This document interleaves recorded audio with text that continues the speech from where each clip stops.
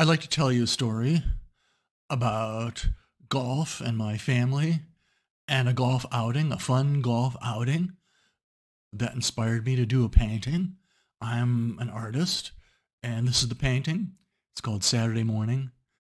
I come from a golf family. Uh, my father was a natural athlete. Uh, he was a football star, but he could anything with a club or a bat or a racket and a ball, he could just pick it up and play it. And my three brothers, Butch, Skip, and Jack, they all inherited my father's athletic ability. I did not.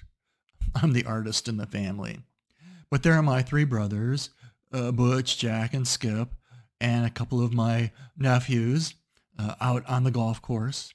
And if you look in the distance, uh, behind the, the, the man with the yellow baseball cap, that's my brother Skip. If you look behind his head, you can see this little tiny figure off in the distance standing on the green. That's Jay. Jay is one of my brother Jack's friends. And we've known Jay since, you know, he was 10 years old. And he still plays golf with us. And the first time I ever met Jay, I just came home from my first year of college. And there was Jack and Jay and a bunch of their friends down our basement playing penny poker and they let me play along with them. And here's the family again out on the golf course. You know, with nieces and nephews, uh, and David there in the blue shirt and the yellow shorts. Uh, he is uh, he's my brother Skip's son. He's an amazing golfer. I mean, he can really hit the long ball, as well as his brother Billy in the pink shirt uh, with the gray shorts he's an amazing golfer too. But, you know, they started when they were kids. Skip had them starting to play golf when they were little kids. So they're really good.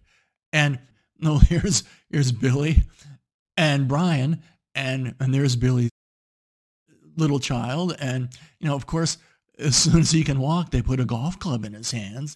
And I'm sure he's going to be a great golfer someday too. And so here we all are for our family golf outing, annual family golf outing at my brother Butchie's house. And he, he, I mean, he lives, likes to live on the golf course, on the golf course itself. Uh, there's my brother Butch.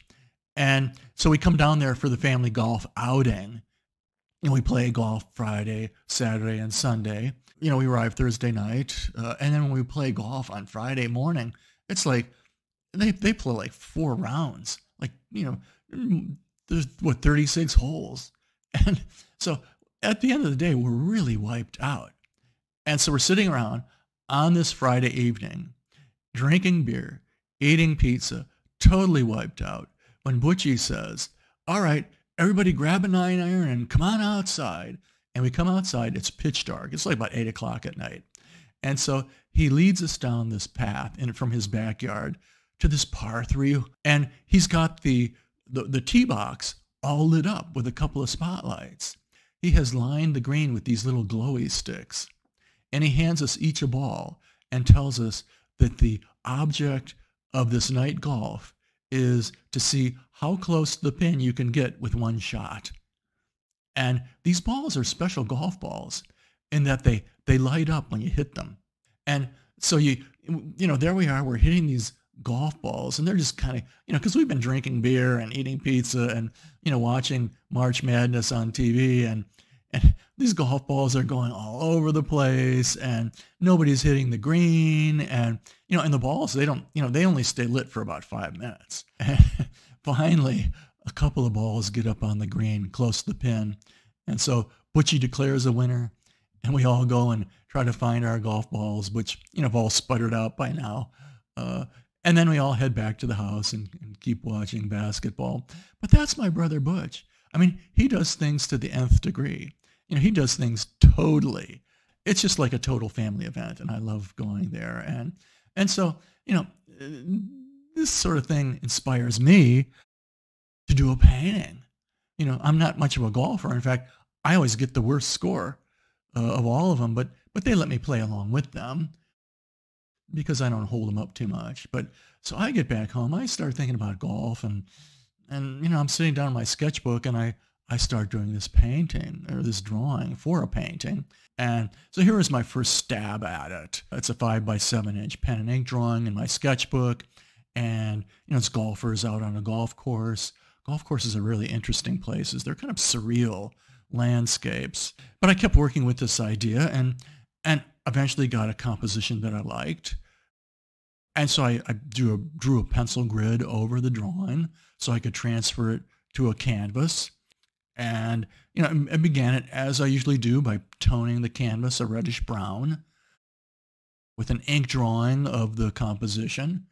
And I started blocking in the colors, the greens and the blues. And, you know, I'm looking at this painting and I'm saying, there's just something missing here. It's not quite complete. You know, I'm a, I'm a surrealist painter. And that means I combine visual reality with sort of our subconscious perception of reality and blending them together to try to create a more complete truth. So here's this painting that I'm doing from my imagination based on my uh, experience. I'm looking at it, you know, and at a certain point, the painting really does start to have to kind of like talk back to you and, and, and, you know, encourage you to continue working on it. And, and this painting has just kind of gone dead so I, I, I sat down uh, with my sketchbook and I just started drawing. You know, at first what I'm drawing is, you know, it doesn't have anything to do with the golf course, but, you know, it's interesting drawing with the, the bird's nest and the eggs and, you know, the houses behind it. And so I, I did another drawing and I liked that one maybe even better. I did a drawing of the golf course picture with this bird's nest uh, and branches and a couple of birds. And I thought, oh, that's a lot better. This nature does intrude into the golf course.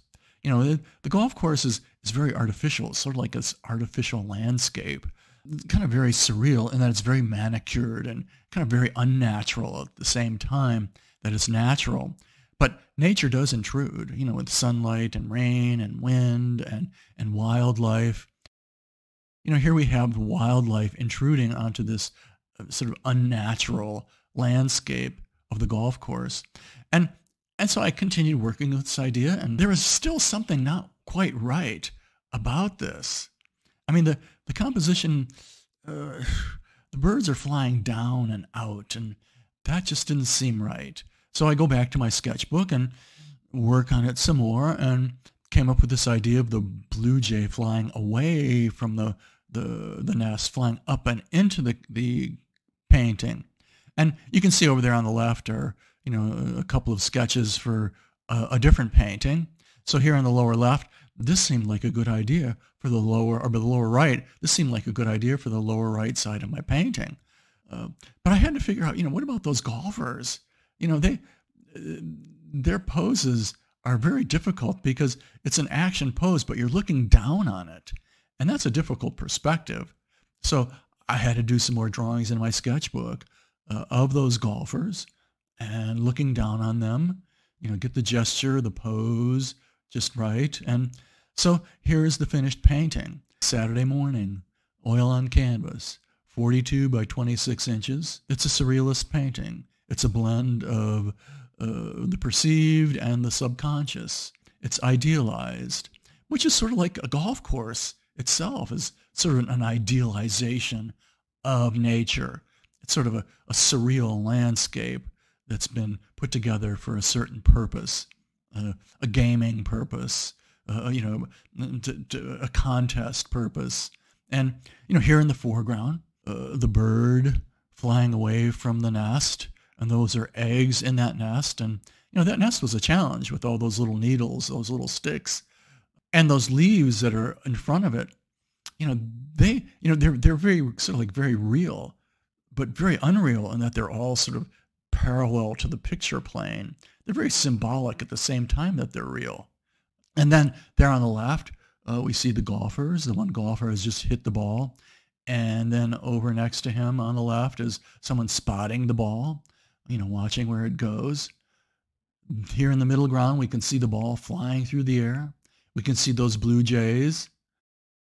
A couple of golfers or a few golfers at the top of the, the image there. Uh, in this detail of the middle of the painting, uh, you can see the textures that I'm using. Uh, you know, the, the textures for the grass and uh, the textures for the leaves, uh, both on the right there where I have to get more specific with the leaves and then over there on the left where, you know, they're just sort of like these clumps. You know, and these textures are really important for creating sort of a tactile sense uh, for this image.